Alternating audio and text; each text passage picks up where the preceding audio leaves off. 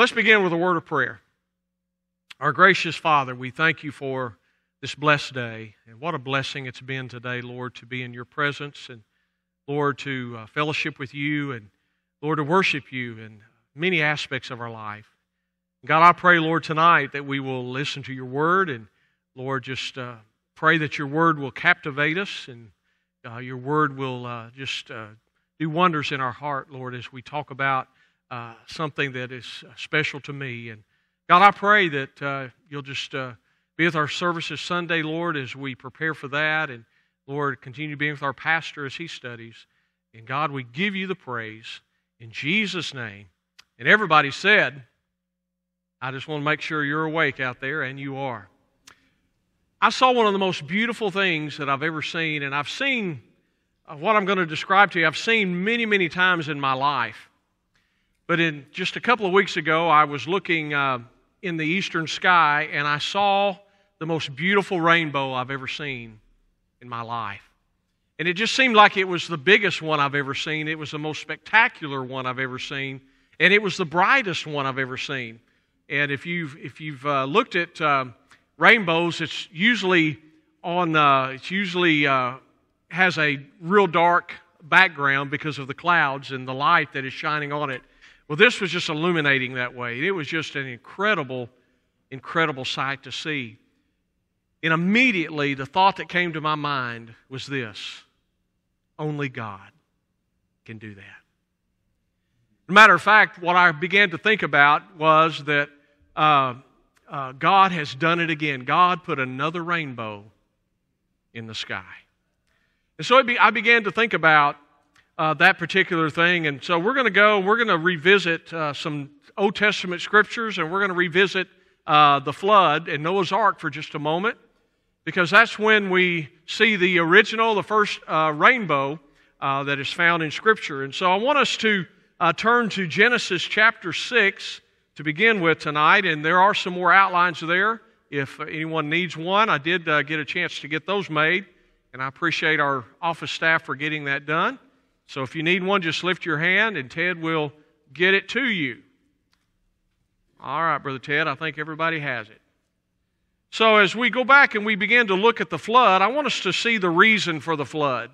And I think we all know what the reason is, but I want us to read it found in Genesis chapter 6, beginning in verse 5. The Lord saw that the wickedness of man was great in the earth, and that every intent of the thoughts of his heart was only evil continually. And the Lord was sorry that he had made man on the earth, and he was grieved in his heart. So the Lord said, I will destroy man whom I have created from the face of the earth, both man and beast, creeping thing, and birds of the air, for I am sorry that I have made them. So we see that the reason for the flood was simply this sin and ungodliness. And folks, uh, we live in a society and a culture today that is full of sin and ungodliness. And we do know that one day judgment is going to come. It's not going to be by flood, but it will come by fire uh, from the Lord. So uh, we understand that. So we see the reason for the flood, but what is the reality of it? Look in chapter 7 and look at verse 11 and 12. In the 600th year of Noah's life, how many of y'all would love to live to 600 years? Anybody? I think some of us struggle to, to, to live as long as we have, right? But he was 600 years in the second month and the 17th day of the month, on that day, all the fountains of the great deep were broken up and the windows of heaven were opened. And I was reading that verse and I got to thinking about our mission trip we had to Nicaragua a few years ago. And I never will forget the first night uh, that we were there in our dorm.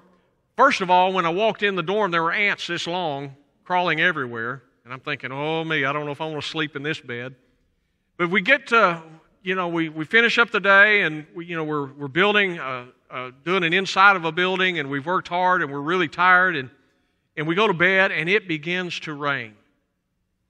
And I will tell you, and Charles, I believe you were there, it's the hardest rain I've ever heard in my life. I thought the roof was going to cave in. It was raining so hard. It wasn't hail, it was just rain, that tropical rain. And so I can imagine what it was like when the, when the fountains of the earth and the, and the windows of heaven were open. And it says the rain was on the earth for 40 days and 40 nights. then in verse 23 it says, So he destroyed all living things which were on the face of the ground, both man and cattle, creeping thing and bird of the air. They were destroyed from the earth.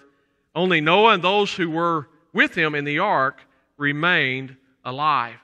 And folks, there are people who say that the uh, that Noah and the ark was a myth. I am here to tell you, upon the word of God, it is a fact. It is a reality.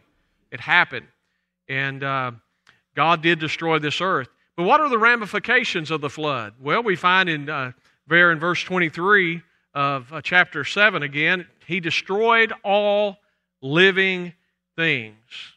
All but eight people were killed.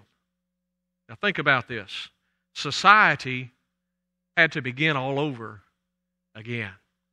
And we, we, can, we could talk about that and we can go through all of that, but we certainly don't have time to do that. But I want you to, to see that God used different things that I see in the Word of God that He put in the sky for us to pay attention to. And I got to thinking about it, and I thought about the pillar of cloud and the pillar of fire. You remember uh, there in Exodus chapter 13, where they were uh, uh, coming upon the, the Red Sea, and Pharaoh and his army were coming after them. And, and you remember the story of how God used that, that cloud by day and that pillar of fire by night to uh, keep them at bay. And then in uh, Numbers chapter 9, we find that uh, the pillar of cloud and the pillar of fire were used and was symbolic of the presence of God as the cloud would hover over the tabernacle. You remember when uh, they it was like a tent, and they had and every time the cloud moved, the tabernacle, the people were to move. And sometimes, and, and God has a sense of humor. Maybe God uh, he would hover over it for a couple of days and then they'd move. He'd hover over it a couple of days and then they'd move. Then he'd hover over it for a year. Then they'd move. But the presence of God was always over them. So there's the pillar of cloud and the pillar of fire, which is symbolic of his presence. He's with us, he's above us, he's under us, he's before us, he's behind us, he is in us, his presence. But then there was the star, and you remember the star, the Christmas story? The star speaks of the preeminence of Christ. And that star, it was a special star, the only time it's ever appeared in the sky like that. And it says this that the wise men asked the question, where is he that is born King of the Jews? For we have seen his star in the east and have come to worship him. And so this was a special star, and I believe it is symbolic of his preeminence. He is above all, before all, and all in all. Amen? Matthew chapter 2 tells us, uh, as, i as I quoted a moment ago, we've seen his star and we want to come and worship him. The book of Revelation, Jesus himself said, I am the root and offspring of David, the bright and morning star. So we see that pillar of cloud and pillar of fire. We see the star, but there was another thing that was in the, in the sky, and that was the rainbow. And the rainbow is symbolic of the promise of God. Listen, folks, God is a covenant promise keeping God. And I want to say this I know that the rainbow and the rainbow colors are used in ways today that it shouldn't be used. Amen? But I want to tell you, God made something very special. God made something very unique. The devil has takes everything that God wants to do and the devil wants to pervert it. And that's exactly what's happening in our world today a perversion of the colors that we find in the rainbow.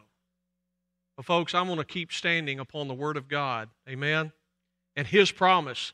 God is a covenant keeping God. Romans 4:21 says being fully convinced that what he has promised, he was also able to perform. There is not a promise that doesn't come through. God always comes through with his promise. Well, when you think about it, in my lifetime, I've never seen a pillar of cloud or a pillar of fire. Have you? I've never seen that in the sky. Now, I see stars all the time. You can go out and look at stars, but I've never seen that bright Christmas star as they saw when Jesus came. But I'm going to tell you something, folks. I see rainbows all the time. And that is the thing that it remains today. And I believe that it has much meaning to it. And I think it's also a constant reminder to us that Jesus was raised up into heaven as a token of God's promise in salvation. So I believe the rainbow is actually a picture of Jesus. I really do. And when we look at the colors of the rainbow, you're going to see the significance of that. So let's think about that for just a moment. The color purple speaks of royalty. Does not the Bible say he is the King of kings and Lord of lords? He is royalty. The color blue speaks of heaven. The Bible teaches us that he came from heaven. He came from the portals of glory and he came and he put on humanity. He came to die on a cross. He came to earth from the place called heaven. The Bible says that uh, in John 3:13, no one has ascended to heaven but he who came down from heaven, that is, in, that is the Son of Man, who is in heaven. And so the color blue speaks of heaven. The color green speaks of new life. Who gives life, folks? God gives life. You know, uh, when I was in school, in elementary school, one of the one of the prominent things that was trying to evade our education was uh, evolution. I mean, it, Darwinism was very strong when I was, and I didn't believe it. I, I, I there was no way I was going to. I, I, there's no way that I came from a tadpole. There was just no way. I mean, you know, I just couldn't believe that. And when you study the Word of God, you, you understand it is God who creates us and gives life. And I love what Jesus said in John chapter 14, verse 6. He said, I'm the way, the truth, and the, say it with me, life. So we get life from Jesus. How about the color yellow? Well, yellow talks about light or really sunlight. And the Bible tells us in John chapter 8, verse 12, I am the light of the world. He who follows me shall not walk in darkness, but have the light of life. And so Jesus is the light of the world. And folks, we're to be his lights as well, are we not? So we need to we need to spread the light of Jesus. But the color orange speaks of warning. Bible teaches and in John chapter 3, Jesus and Nicodemus were having a conversation, and Jesus said, You have to repent. You must be born again. He said, Well, how in the world can I go back into my mother's womb? No, Nicodemus, you don't get it. You got to be born from above. You got to be born again. And, and uh, Jesus uh, really uh, taught him that, that it's so important and it's vital that we repent and be born again. And then the color red. Folks, we know what that symbolizes the blood of Christ, the blood of Jesus. You see, there are those that say there are many ways to God, but I say there's only one way to God, and that's through the blood, the shed blood of Jesus Christ. It tells us in 1 Peter chapter 1. I want you to turn there. I want you to see this. 1 Peter chapter 1.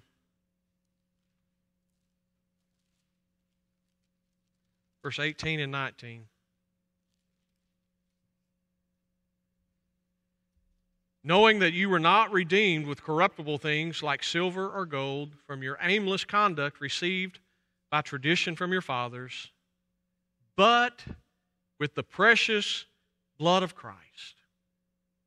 You don't have that phrase underlined in your Bible, you ought to. But with the precious blood of Christ, as of a lamb without blemish and without spot. And so when I look up and I see a, a rainbow and I see all of its majesty and all of its splendor, I immediately think about the glory and the majesty of God Himself. For He's the one that put a rainbow in the sky. Now, how do we get a rainbow? How does a rainbow develop? Now, I'm not a meteorologist.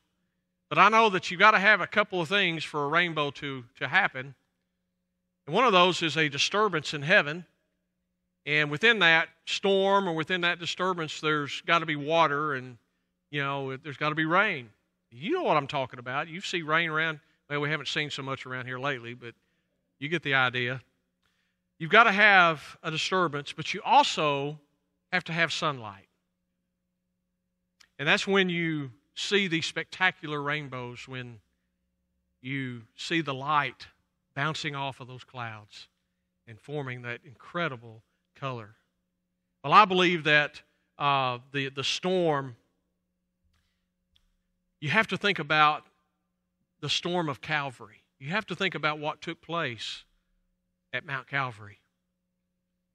The sin of each, each and every individual that has ever lived or ever shall live was placed upon the Son of God. But then, three days later, what happened? He rose again. Amen? And that's what sunlight represents the resurrection of Jesus Christ. Someone put it like this, and I wrote this down and I like it. It said, The sunshine of his resurrection shined through the drops of his shed blood and produced the heavenly rainbow of God's eternal grace. So he put a rainbow in the sky, and every time we see it, we ought to be thinking about the grace of God and the mercy of God. We ought to be thinking about the salvation of God, not what culture is trying to pervert to to propagate today and send a message about today. It's not about that. It's about the salvation of Jesus Christ. So I want you to notice some facts about the rainbow. And if y'all listen fast enough, we'll get done in time. Okay? The first fact is this man did not ask for the rainbow. You know, Noah had no idea what a rainbow. He'd never seen a rainbow. By the way, how many years did it take for him to? Uh, how many years did he preach that they need to repent because judgment was coming? 120 years. So can you imagine, you know, building a boat, building an ark, and gathering all the animals up and, and all that? And God used that as the tool of deliverance. God used that ark. And by the way, the ark is a type of Jesus Christ. It is a picture of Jesus Christ. And I don't have time to go through all that even the shape of it, the length of it, and all it, it and the and the atonement, the kafar, that uh, the pitch, that the tar that was put on the outside and the inside, all of that is a picture of Jesus Christ and his and his blood atonement. But it was a vehicle of deliverance. And can you imagine when they walked out of that ark after that 150 days that the water was on the earth and then it finally settled? They settled on Mount Ararat and they come out of that ark and what do they see?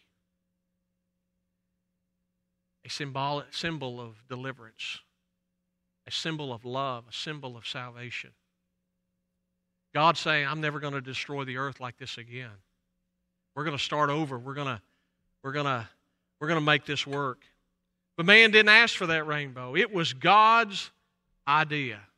And I want to share something else that was God's idea. The cross of Calvary was God's idea. To send his son to die on a cross was his idea, not ours. Ephesians chapter 2 verse 1 says, "And you he made alive who were dead in trespasses and sins." And folks, we need to be thankful for that. We need to be amazed about that. You see, we cannot initiate any movement toward God. Man would never have a desire for God unless God called first. And He's called us. He is not willing that any should perish. But there's a second fact about a rainbow man cannot destroy a rainbow. I've never seen anybody try to go up uh, with, a, with a broom or with a mop or, or fly through it or whatever trying to destroy a rainbow. You can't do it. Well, I want to tell you this man cannot undo the work of Calvary. Man can't undo it.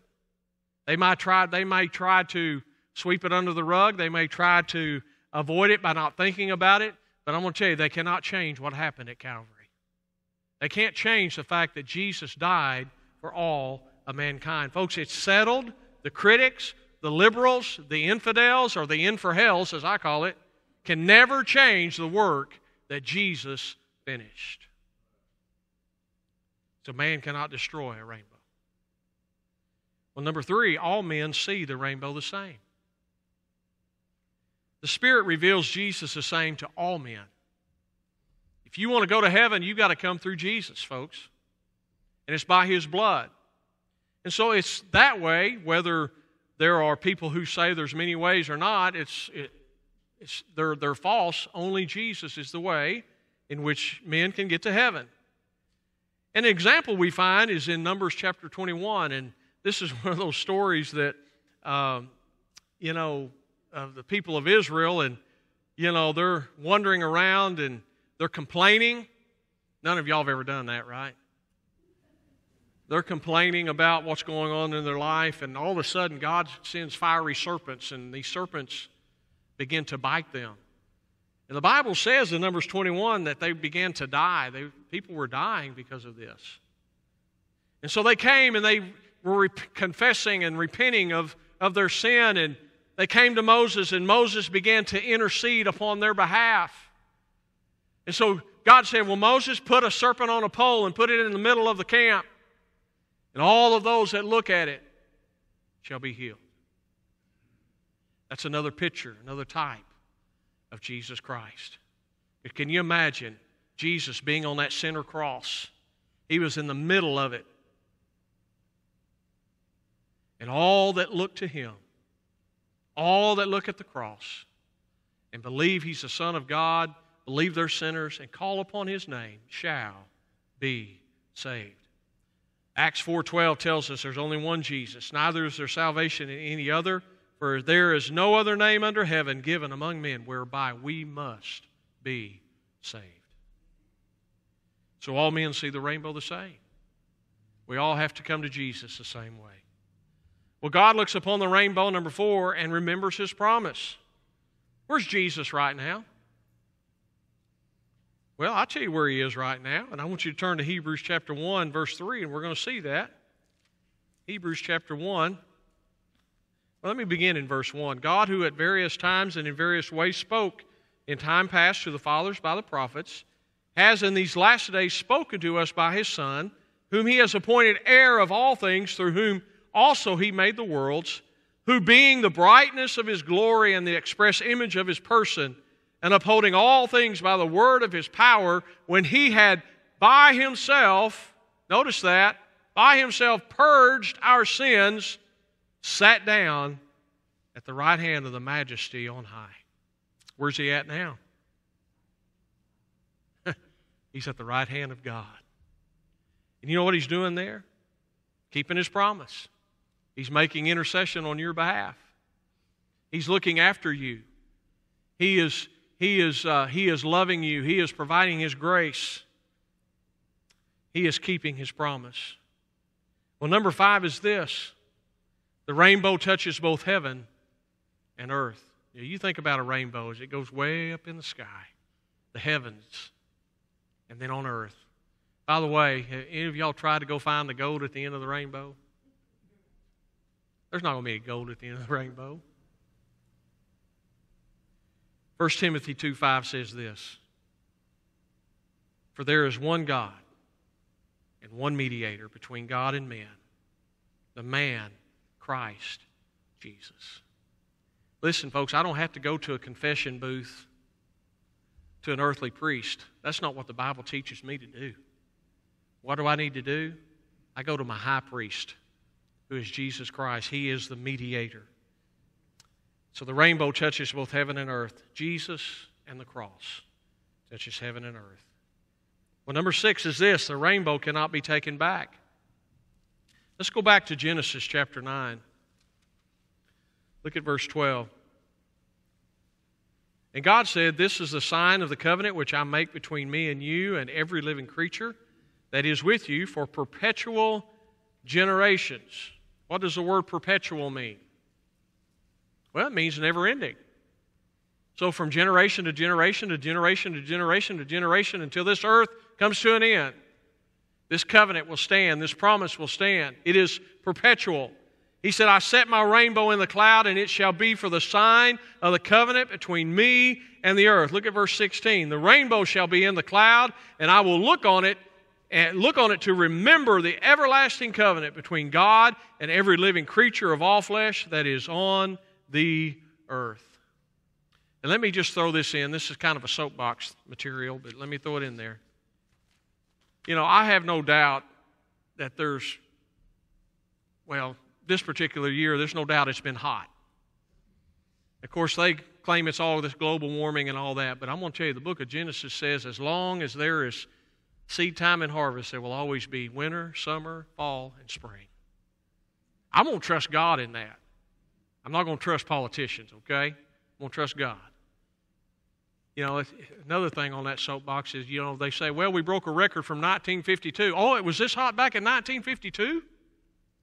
Or back in 8, well, whenever they started keeping records. But, uh, folks, just trust in God. It's going to go from generation, His promise from generation to generation. And then number seven, and if y'all listen for the next three or four minutes, we'll have it done. Nobody has ever seen a complete rainbow. You ever seen one? I've never seen one. I've never heard of anyone seeing one. Well, folks, nobody has ever fully comprehended all that Jesus is and can be. Not, on, not in this world.